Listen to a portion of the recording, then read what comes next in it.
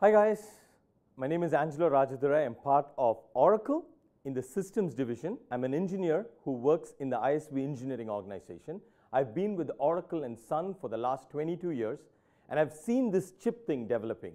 And what we're here to talk about today is not a tiny little change in the chip design. We are doing something completely different. We are doing something revolutionary. We are doing something very, very different that the industry is not even beginning to think about. We are not doing some evolutionary thing. It's a revolutionary stuff that we are doing. We're calling it software in silicon. What it is, is really pushing some software stuff into silicon. And because of that, what we're going to do is gain some huge performance gains, amazing performance gains. We are also going to do some great security gains. We are making this whole thing more secure because we're pushing software in silicon. And again, if you look at it, people are talking about big data. People are talking about data growing. What we're doing by moving software into silicon is we're going to talk about how we're going to use this to increase the amount of capacity the systems can do today. You know what we're going to do? This is not stuff that is just slideware. We have a chip looking just like that, which does all of this today. And we're going to demo it to you to prove it to you that it's possible. And in fact, if you want to try it, we're going to give you a way to try it today. You can come in and try it for yourself. What you're going to do in this set of videos is going to talk about all of these features and end it up with a beautiful demo that shows you what exactly this thing can do. Hey guys, we're back. We're going to talk about performance now, right? We're going to talk about how moving software into silicon is going to give you performance. P E R F O R M A N C E. I hope I spelled that one right, right? We're going to talk about performance. What we have done is that we've taken a chip, right? And we have put 32 cores in this chip, right? This is the M7 chip that we've introduced. And this chip is not slideware. I just want to make sure that you guys are aware of this. This is stuff that's available and not just available for some internal testing in some dark room someplace, right? We put this chip into the cloud and we want you to uh, test on it. We want you to be able to basically make this available. Okay, enough of my, my, my spiel here. Basically, this M7 chip can have 32 general purpose software cores, right? So this stuff can do your general purpose core stuff, 32 of them, okay? Then we found a little bit of space outside, right? Little bit of space here, little bit of space here, and little bit of space here, and said, hey, can I take some silicon and use it to do some soft, some performance features, right? Great. They said, yeah, let's look at it. What is the one thing that we want to make performant, right? The database, right? That's what everybody in the world runs. Everybody runs the database, right? Everybody runs not just the database, the Oracle database. So we looked at what Oracle is doing for performance in the database, and we wanted to see if we can take some part of that and put it into the chip, right? That's the whole idea here. So let me give you a little primer on what we're calling as Oracle 12c in memory. The idea is pretty simple.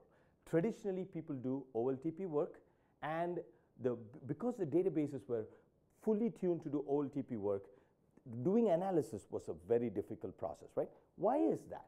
Basically, for OLTP work, what you want to do is you want to store the database in what we're calling as the row-based format, which means we are storing data in rows in both the disk and in memory.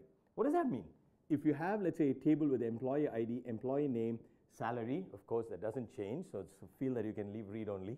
And then you have like city, and then you have pin code, and you have, you know, whatever, right? And you have this written, and this makes absolute sense if you're writing one row at a time, right? So that's the row-based column, and it's good for OLTP, and we've been having it for many years, and we've been doing great with this, right?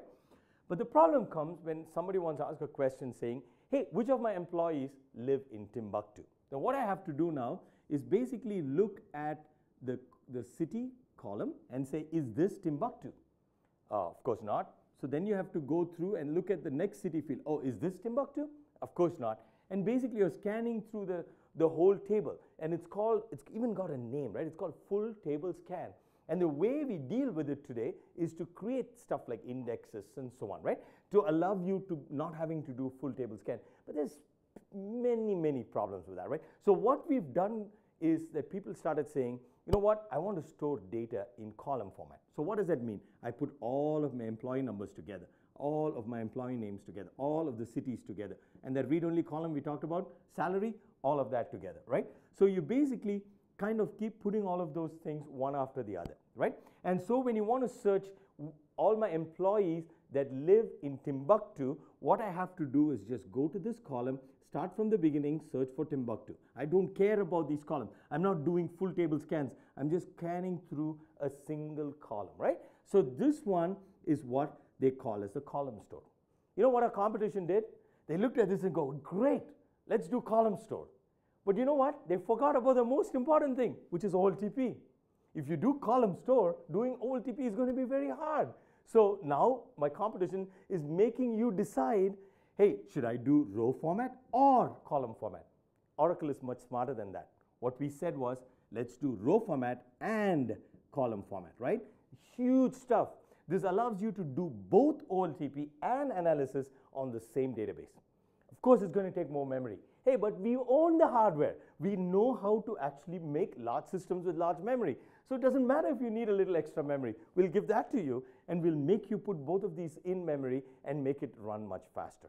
Okay, so now let's look at it. What do we want to do in analysis is we want to go through a set of memory locations and search for a given range or things like that, right? So this looks like a something that the chip can do without software micromanaging it and asking the question every time. We don't want anything on top. We want the chip to do it on its own. Can we do it? Of course we can. So what we did was we put something called DAX, DAX, database accelerators onto the chip. So DAX, right? DAX, basically, all around the chip, right? We put DAX on the chip. What this does is allows you to go and search through columns without having to have software intervention. Think about it. We have 32 cores doing general purpose work. And we have these eight DAX unit and each of them can do four things in parallel, which means 32 general purpose stuff, 32 DAX related stuff, 64 things in parallel in a single chip, right? This stuff is amazing. Not only that, basically we can do some interesting things with these columns. We're going to talk about that in the next section about capacity. What we're going to do is you're going to compress these columns, right? And in the chip itself, you're going to put in some logic which uncompresses this without having to write it back, which means we can make performance go even higher because we're now working on compressed data. We're going to have even higher capacity because we're working on compressed data, right? So this, in a nutshell, is what DAX is. This, in a nutshell, is how Oracle took a little bit of silicon, right? Little bit of silicon and got some huge performance gains because we knew and we understood what software really needs to run on this chip. So because we've thought it through, because we understand the entire stack, we can actually put stuff into the chip, allowing you to fully utilize the chip in the best way we can, both for general purpose stuff and specific stuff for database to get you some huge amount of performance. You know what?